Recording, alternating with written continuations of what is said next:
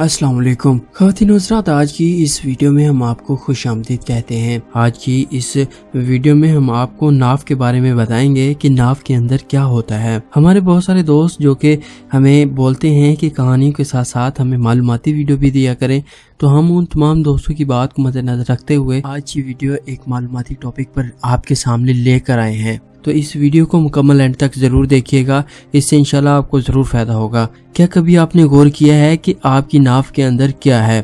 آئیے ہم آپ کو بتاتے ہیں۔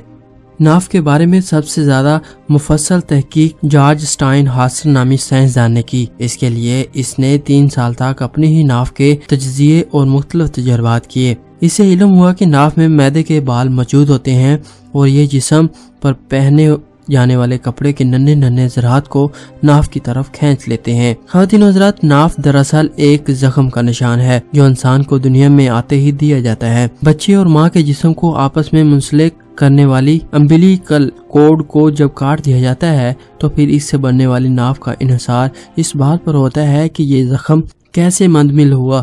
کچھ نافیں باہر کو نکلی ہوئی ہوتی ہیں، جبکہ نفے فیصد اندر کی طرف ہوتی ہیں۔ اندر کی طرف والی ناف میں کپڑے کے ٹکڑے، بال اور جلد کے مردہ خلیات جمع ہو جاتے ہیں، جبکہ ان میں بیکٹیریا بھی ہوتے ہیں اور ماہرین نے ایک تحقیق کے لیے ساٹھ رضاکاروں کی ناف سے جمع کیے جانے والے اجزاء میں سے تیئیس سو اقسام کے بیکٹیریا دریافت کیے۔ یعنی ہر ناف میں اوسن ستاسٹھ اقسام کے بیکٹیریا موجود ہوتے ہیں۔ ان میں سے کچھ بیکٹیریا ایسے بھی ہوتے ہیں جو جسم کے دیگر حصوں پر بھی پائے جاتے ہیں، جیسے اسٹیفلو کوکس جو بالوں، ناک اور حلق میں موجود ہوتے ہیں۔ تاہم، ماہرین نے ان میں ایسے بیکٹیریا بھی دریافت کیے ہیں جو انسانی جسم کے لیے بالکل اجنبی ہوتے ہیں، جیسے ماری مونس جو ماہرین نے صرف سمندر میں پایا تھا۔ اس کے علاوہ ناف میں وہ بیکٹیریا بھی ہوتے ہیں جو شیفز پنیر بنانے کے لیے استعمال کرتے ہیں۔ ویسے تو ناف میں موجود بیکٹیریا فائدہ مند ہوتے ہیں اور یہ جلد کے دفاعی نظام کو مضبوط بناتے ہیں۔ تاہم، اگر آپ نے کبھی ناف کی صفائی نہیں کی